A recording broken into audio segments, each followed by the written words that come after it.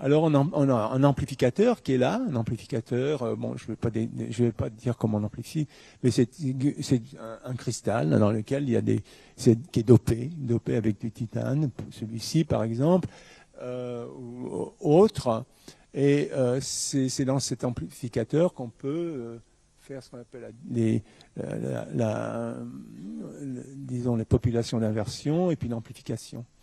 Alors Seulement, le problème, c'est que si on prend cette impulsion extrêmement brève et que on l'amplifie directement, eh bien, on va euh, très rapidement produire ce qu'on appelle des effets non linéaires, et puis on va détruire le, matériau.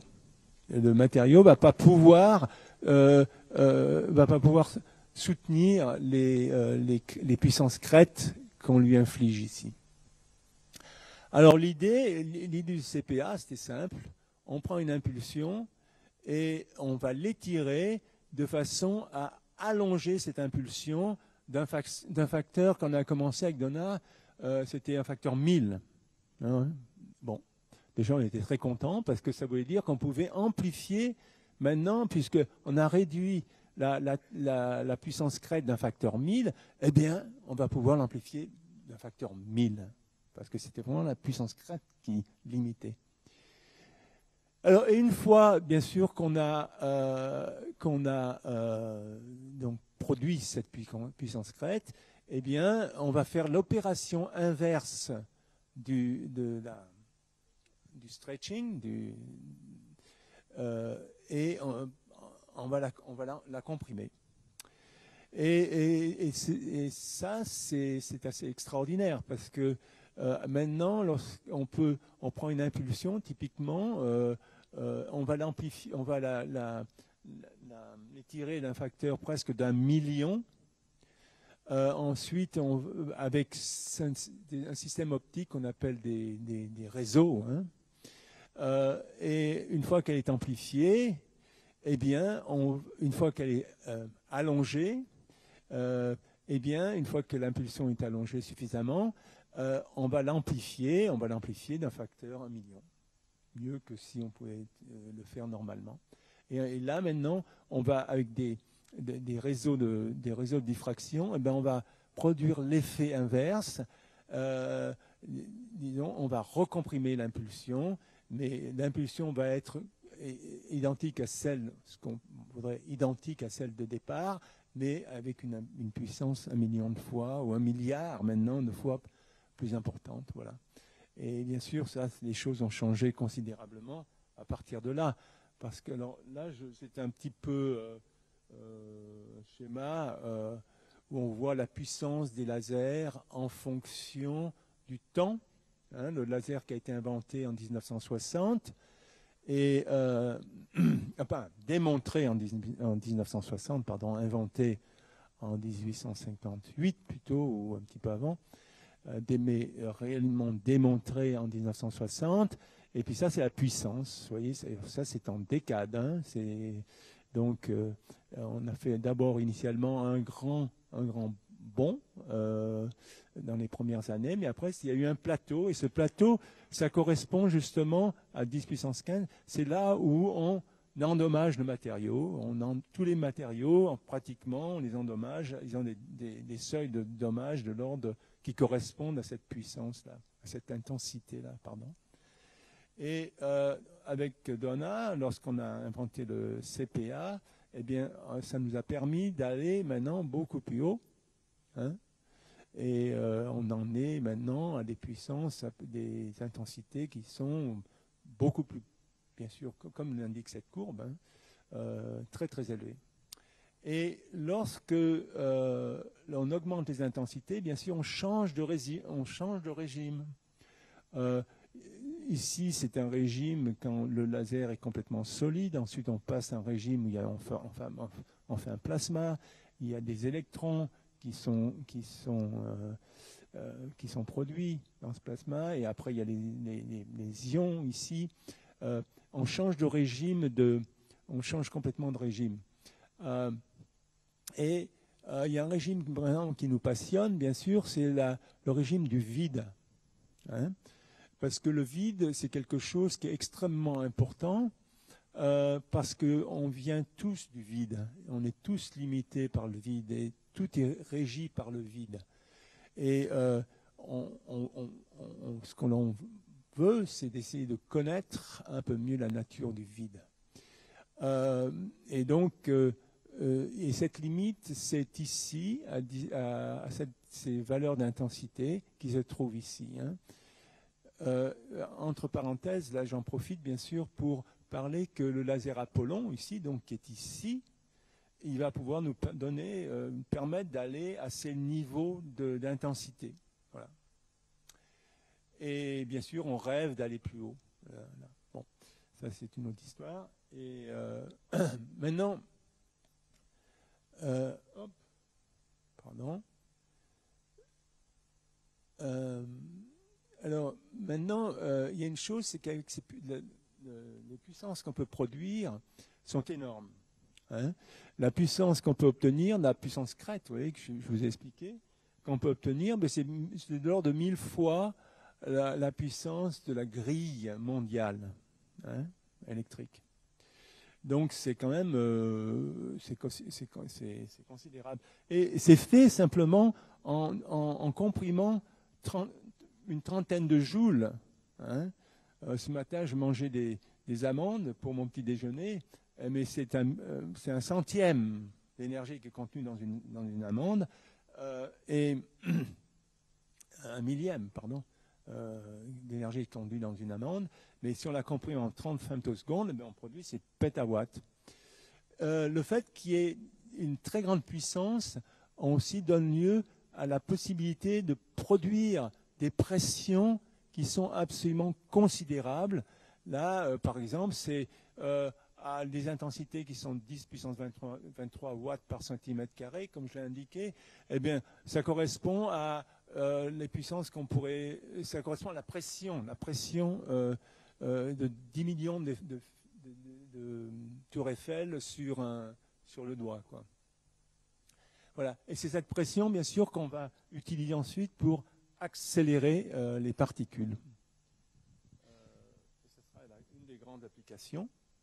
Euh, alors, je j'ouvre un peu ce, volet-là. Donc, l'accélération de particules qui est fait ici aussi de façon, de façon importante et réussie. c'est pour, pour, produire des, des, une accélération de particules qui a été introduite par Tajima et Dawson notre ami close friend, Toshita Jima. Euh, et euh, qu'est-ce que l'on fait On prend un laser euh, qui d'ordre du, pétawatt, on focalise ça sur un jet de gaz simplement, et on, produit, produit des, particules qui ont des énergies considérables de du GeV. Alors le GeV, c'est l'énergie des particules qui sont produites à Soleil, par exemple. Si vous allez, vous voyez l'accélérateur Soleil, eh ben, ils, produisent de l'ordre, ils produisent des particules de quelques GeV. Et euh, avec cette technique, on peut produire, mais bien sûr, le Soleil, c'est un anneau qui fait une centaine de mètres de diamètre, hein, de rayon. Euh, donc, euh, on peut produire, nous, sur sur une toute petite distance ces énergies. Euh, donc, ça ouvre des possibilités absolument considérables parce que la société euh, a besoin aussi d'accélérateurs. Hein. Il y a énormément d'accélération, d'accélérateurs euh, dans, notre vie hein, et surtout dans le médical. et donc, par exemple, si on regarde l'anneau du CERN, l'anneau qui produit des, particules de l'ordre du, du TeV, c'est-à-dire 1000 GeV, euh, qui il fait 27 km de, pourtour, eh bien avec les techniques euh, de laser Wakefield, donc introduit par Toshi Tajima, eh bien on, pourrait ramener la taille de, de cet anneau sur quelque chose qui fait une centaine, quelques centaines de mètres. Et, là, actuellement, quand on parle de futur, on travaille sur un schéma qui nous permettrait de, produire ces, énergies euh, sur un doigt. Euh, donc, euh, c'est pour ça que je suis très excité de, des avancées futures. J'essaie donc de convaincre tout le monde de, se lancer là-dedans. Donc, ça, c'est quelques applications. Hein. Les applications, donc, protonthérapie, hein, nucléaire euh, des diagnostics nucléaires, euh, euh, la thérapie nucléaire aussi, hein, en utilisant des isotopes, nucléaires. Et, aussi, bien sûr, un, thème qui m'est qui très cher, c'est la, possibilité de, de transmuter les, déchets radioactifs, hein, dont on ne sait pas quoi faire actuellement. Euh, donc voilà, ça c'est les grandes, des grandes, grandes applications sociétales, mais on a, on a montré aussi qu'on pouvait, bien sûr, c'était très très important pour la chirurgie de l'œil, mais à ce moment-là, on, a, on utilise toujours le CPA, mais la dimension du laser est beaucoup plus, beaucoup plus faible. Euh, voilà, et donc c'est un domaine qui a pris un, essor absolument considérable. Euh, quand on nous étions avec Donna à, l'université de Rochester, on était là, et tout seul.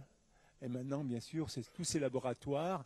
Euh, il y en a une centaine dans le monde, et, euh, ils occupent, ils, donnent du travail pour une millier, quelques milliers de chercheurs.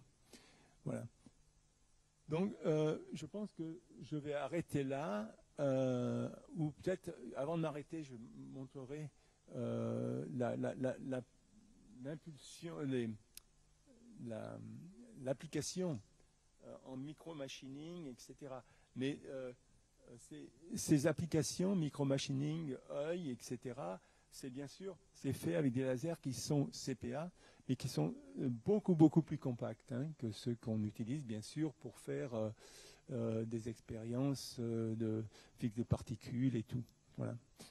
Donc, je voulais simplement vous montrer que on peut faire peut faire de l'ablation des trous extrêmement, extrêmement petits avec le laser. Aussi, il y a une chose qui est très très, très excitante, c'est le fait que, euh, comme les impulsions sont extrêmement brèves, euh, la lumière se déplace encore une fois euh, très rapidement, mais elle se déplace de quelques microns pendant la durée de, l'impulsion. Alors la matière, elle, se déplace pas du tout, pratiquement. Ce qui permet de faire des coupes. Là, on a une coupe de cornée, par exemple, extrêmement précise avec euh, le laser euh, femtoseconde ici. Et si vous avez des impulsions plus longues, de l'ordre d'une nanoseconde, euh, ce qu'on considère déjà très court, eh bien, on, fait, on fait beaucoup de dégâts et pas, ça marche pas très bien. Voilà. Et donc, c'est, en fait ces travaux là qui ont donné la possibilité maintenant de, construire des systèmes euh, femtoseconde pour l'ophtalmologie. Et euh, il y a, je sais pas, il y a, des millions, quelques millions de personnes par an qui en bénéficient. Voilà. Je vais m'arrêter là et vous pourrez peut-être poser des questions hein, si vous en avez.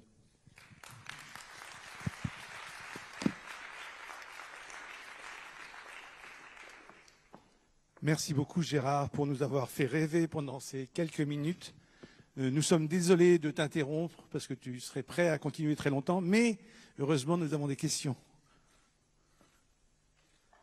Bonjour.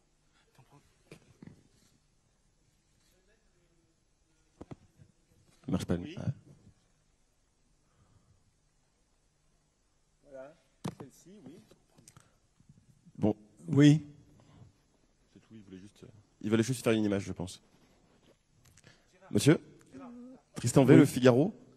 Je voulais juste, je suis ici. Ah, pardon. Je vous en prie. Euh, félicitations.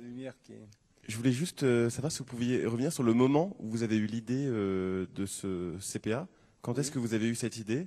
Et comment est-ce qu'ensuite vous avez transformé ça en, en, technologie opérationnelle? Voilà, écoutez, bon, j'ai eu cette idée, comme je l'ai dit, à l'université de Michigan, de, Rochester. je suis allé à, Michigan après, après 10 ans en Rochester. écoutez, c'est toujours très... Quand, on a les idées, il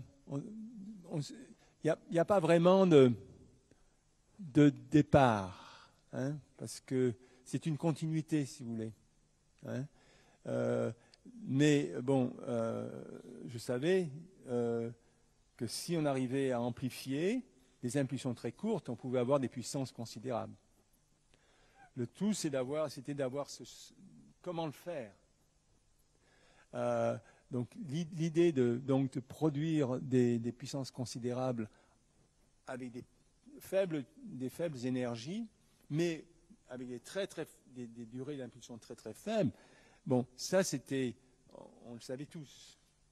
Maintenant, encore une fois, comment arriver à le faire et, c'est, et là, c'est, venu aussi un petit peu euh, en deux temps, pratiquement. Euh, euh, et il y avait une fois où j'étais au ski. Avec ma femme et tout ça. C'est choses. les, idées vous, vous traversent l'esprit comme ça.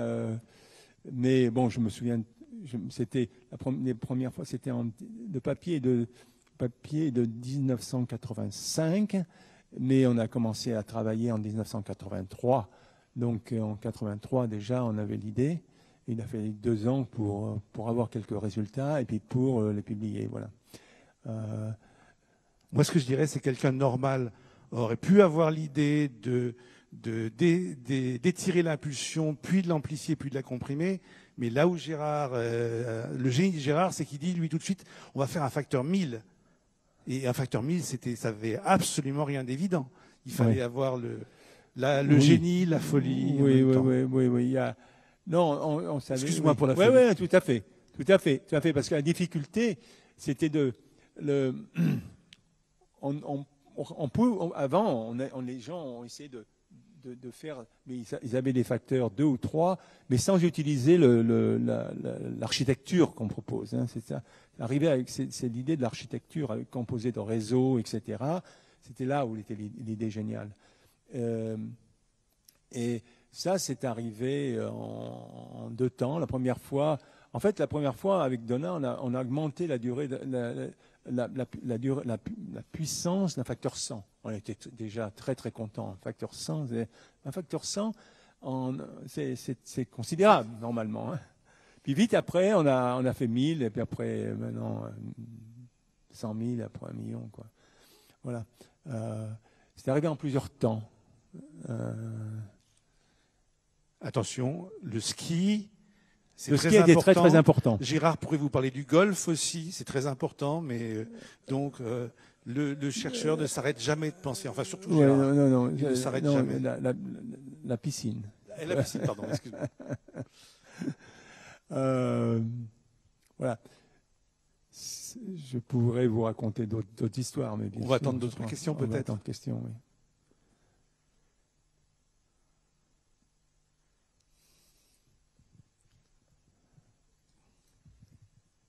Oui.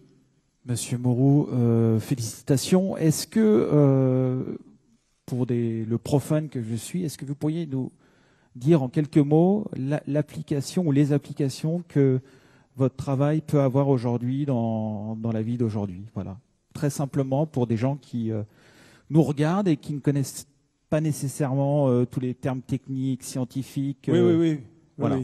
Donc, disons actuellement, je veux dire, en ophtalmologie, la technique, disons, en utilisant la, même technique, mais avec des lasers, plus faibles, il y, a, des milliers de systèmes actuellement qui sont utilisés pour euh, travailler sur la cornée, hein, pour travailler aussi sur la, la cataracte, hein, la cornée pour la chirurgie photoréfractive, euh, la cataracte, il y a des millions de personnes qui, ont, ça par an.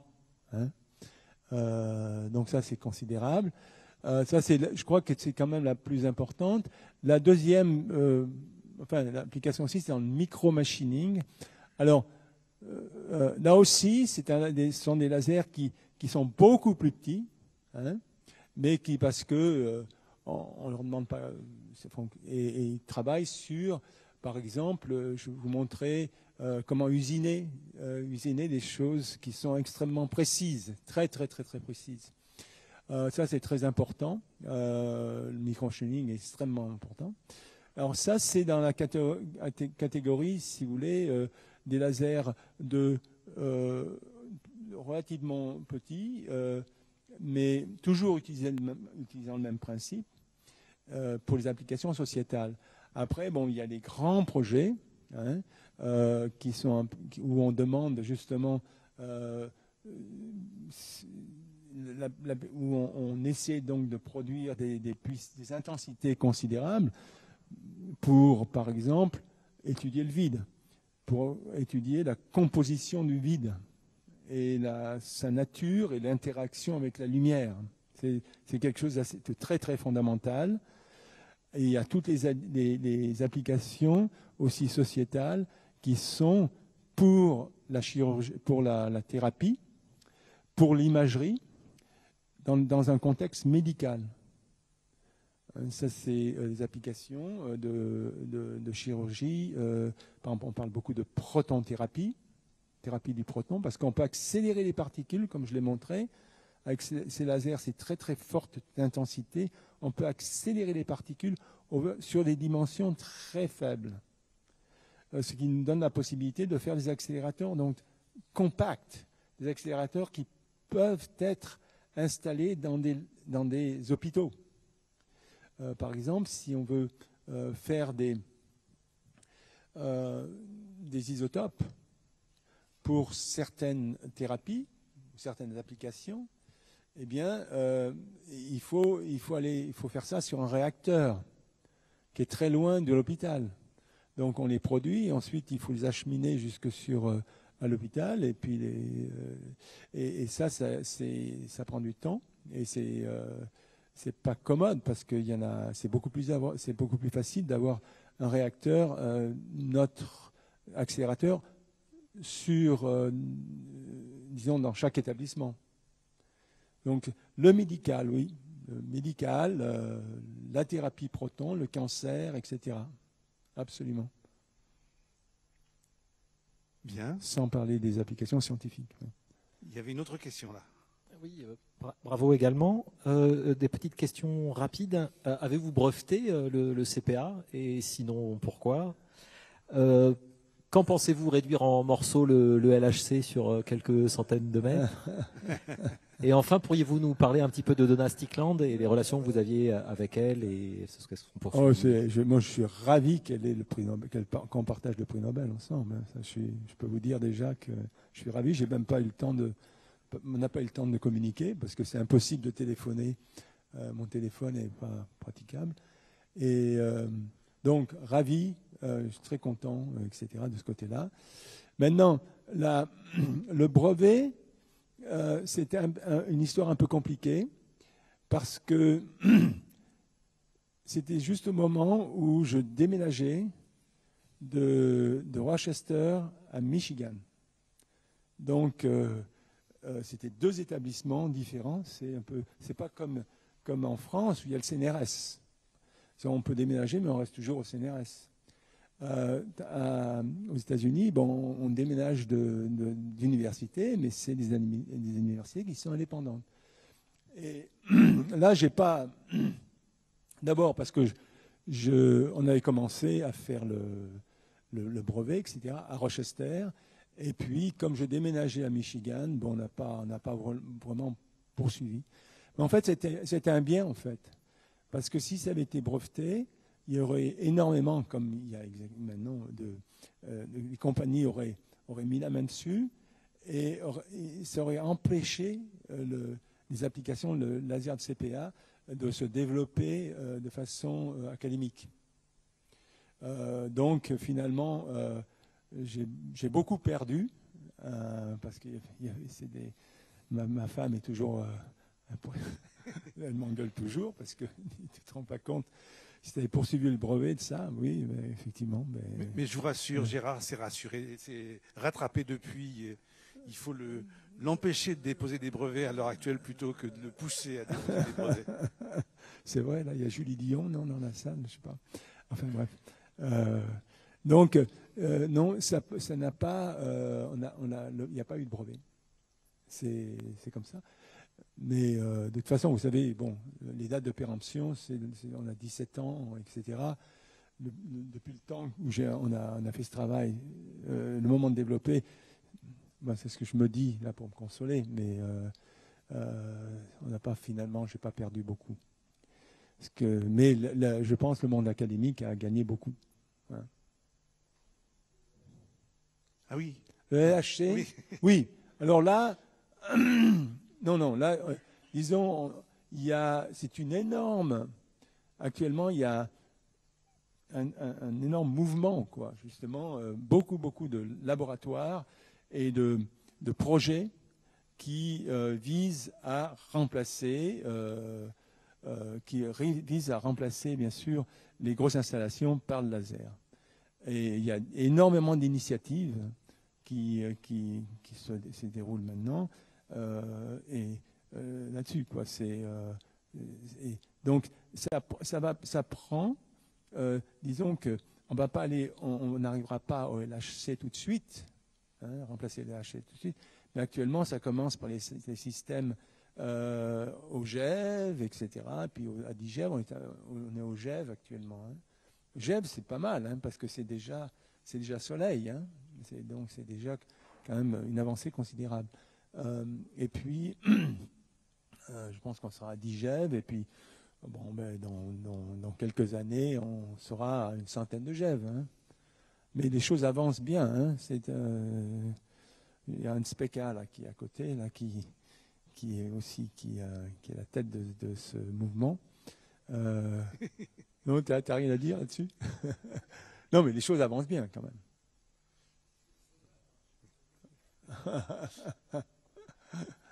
Bien, on va passer à la question suivante. Oui, bonjour. Euh, vous êtes, je suis ici, juste en face de vous. Ah oui, pardon. Bonjour.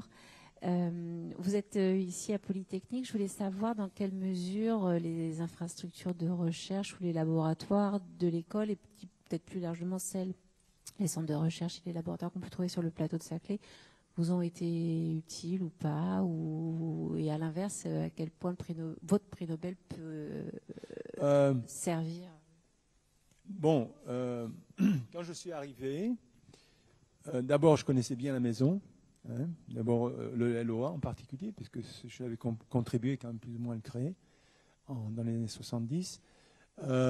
puis on s'était toujours suivi, etc. Donc il y a eu beaucoup d'échanges.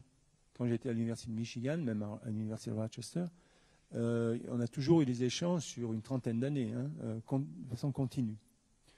Puis après, bon, je, après avoir passé 30 ans aux US, euh, je, suis, je suis venu. Donc, il y a, eu une, transition qui a été, qui a été, qui a été facile et bien. ensuite, quand je suis arrivé ici, j'avais déjà à l'université de Rochester, j'avais, euh, pardon, Michigan, j'avais, euh, j'avais déjà euh, construit une infrastructure très importante, puisque c'était l'infrastructure la plus importante dans le laser du NSF. Et à, l'université de Michigan, c'était une infrastructure qu'on appelle le QoS. et mon rêve, c'était une, infrastructure qui était au niveau du pétawatt même une centaine de terawatts. Et mon rêve, c'était d'aller plus haut. Donc quand je suis venu ici, euh, il y a eu cette opportunité, il y a eu cet appel à projet, où c'était en fait la, feuille de route de l'infrastructure de, l'ESFRI, la feuille de route de l'ESFRI qui se mettait en marche, et, euh, donc il faisait appel à des, grands projets. Donc c'est ce que j'ai soumis. Et c'est ce qui j'ai soumis. En fait, il était en deux parties. Il y avait euh, le grand projet. Enfin, je vais pas vous. Euh, il y avait, un, grand grand projet qui qui bah, je voulais que ça soit d'abord ici. En fait, ça c'est, euh, le, laser s'est installé pas en un endroit, mais en trois endroits. Euh, et ici, on a, on a réalisé le, projet Apollon. Voilà. Et je crois qu'on va avoir les premiers tirs à la fin de la semaine, c'est ça? Fin de la semaine, oui, absolument. Ok. Donc, ça, tu vois, on a vachement combiné avec, euh, avec le. Tout, tout était planifié. parfait. Euh, oui, je ne sais pas si on m'entend. Euh, vous êtes euh, passé vite sur une des applications qui est le traitement des déchets radioactifs. Vous pouvez expliquer un peu mieux C'est on en est plus au stade de l'idée, des premières expériences ou vraiment d'un traitement utilisable à grande échelle? le, principe de la, transmutation, c'est simplement comme on est, on est capable de produire des particules, d'accélérer pratiquement n'importe quelle particule en particulier les neutrons. Hein. Donc c'est d'essayer de, faire des isotopes, de créer des, isotopes, ou à partir d'isotopes, euh, de changer le noyau. Hein. Donc essayer d'arroser d'arroser les, débris et en, espérant que eh ces neutrons viennent percuter le noyau et s'intégrer dans le noyau et donc on change la nature complète de, de, l'atome. Hein. Euh, et euh, bon, ça c'est le principe. Euh, alors, on n'a pas besoin d'un laser pour faire ça. Hein. On, peut utiliser des accélérateurs normaux. Hein. L'idée, bien sûr, si on peut faire avec le laser, c'est beaucoup mieux. Parce que comme je vous ai dit, on peut réduire la taille des, accélérateurs d'un facteur 1000.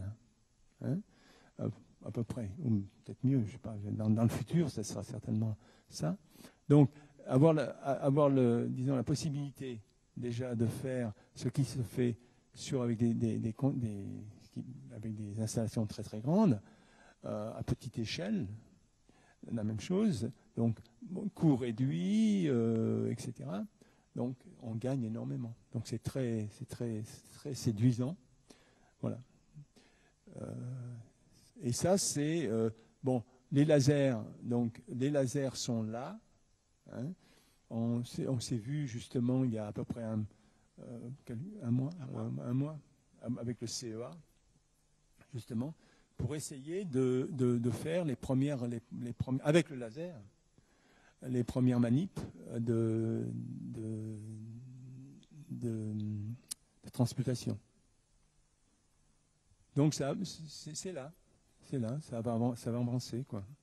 Comme, comme, tout projet, surtout des projets de cette taille-là, ça prend du temps. Ça prend du temps, il faut, qu'il y ait une phase préparatoire au départ où on, on, déblait, on étudie les différentes choses, et puis après, ben, euh, on, peut construire plus grand, on peut, on peut construire le prototype pour. Euh, mais ça, ça, ça, prend du temps, entre 5 et 10 ans. Avons-nous d'autres questions? N'hésitez pas à lever la main, oui. Derrière vous. Bonjour. Bonjour, une autre, euh, enfin rebonjour, une autre question euh, sur l'aspect plus euh, humain. comment est-ce que vous avez rencontré Donna? Comment vous avez travaillé ensemble? Et quelle est votre part respective dans le développement de cette nouvelle technologie? Ah ben moi j'étais bon j'étais le patron, le professeur quoi. Et Donna était mon élève. Donc, euh, euh, bon, c'est moi qui ai eu l'idée, etc., etc. Je sais. Euh, et donc, je suis sûr que Donna ne s'attendait pas à avoir le prix Nobel. Hein. mais je suis très content qu'elle l'ait eu. bon, c'est moi qui ai donné l'impulsion, c'était moi le, directeur du laboratoire, etc. Donc, elle était étudiante et j'étais ravi. Je sais, je sais par exemple que le, il y a quelques années, le comité Nobel avait, pris contact avec Donna pour avoir d'elle-même, savoir quelle était sa part dans l'invention. Et, bon, elle a dit, bon, ça c'est Gérard, il euh, n'y a, pas de problème. Et donc, euh, ça je le savais déjà, mais euh, je suis content qu'il ait, ait donné le prix Nobel, parce qu'elle le mérite. Je crois que c'est la troisième femme qui a eu le prix Nobel. Oui. important. Hein. De physique, de physique. De physique, oui, bien sûr, de physique. Ah oui. Euh, Est-ce que je vois des bras qui se lèvent? Oui. Euh, du coup, euh, encore, euh, encore ici. Euh, du coup, finalement, c'est vrai qu'il y a eu que trois, trois femmes prix Nobel de physique. Vous, pouvez- vous avez une petite réaction par rapport à ça? C'est dû à quoi, selon vous? Oh, ben là, c'est une longue histoire. hein. Euh, je crois que les choses vont changer. Je crois que les choses vont changer. Dans le paysage, maintenant, euh, il y, a, il y a Donna, mais y en aurait eu, ça aurait pu être, j'en euh, au moins trois ou quatre hein, du même niveau, etc., qui, qui, qui, qui finiront par l'avoir, je pense, dans, dans, une, dans d'autres domaines. Non, non, je crois que maintenant, je crois que le comité est très très sensible à ça. hein. C'est pour ça qu'ils ont téléphoné à. Normalement, si ça avait été un étudiant, j'étais le prof avec un étudiant, je pense qu'ils n'auraient même pas de- demandé à Donna euh, euh, sa participation. Le fait qu'il euh, qu'il voulait s'assurer absolument que c'était moi qui étais l'initiateur, le professeur, euh, ça montre leur souci quand même. De... Mais encore une fois, je pense qu'il voulait, il voulait euh, certainement le donner au professeur. Et après, euh, je n'étais pas dans le comité, euh, ils, ont, ils ont décidé de le donner à l'étudiante aussi. Et c'est très bien.